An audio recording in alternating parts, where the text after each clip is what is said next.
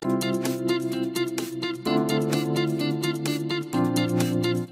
Photography Jobs Online is a membership site. Current pricing is $27 per month, which is fairly modest as such things go. There's an upsell for an upgraded membership, for another $27 per month, that shows you how to earn an extra $30 per day. But that appears to be a program involving paid surveys and seems to have little to do with photography. If you elect to join Photography Jobs Online, I'd recommend that you avoid the one-time offer and stick with the basic membership.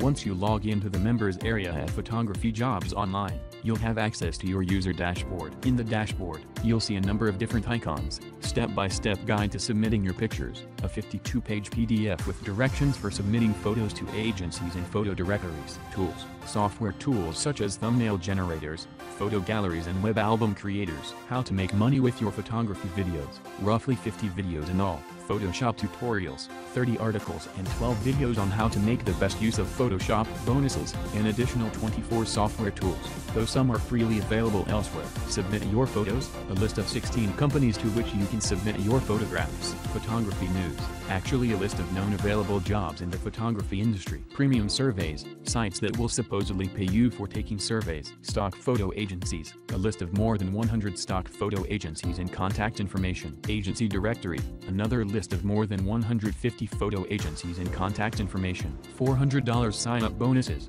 a list of additional survey sites.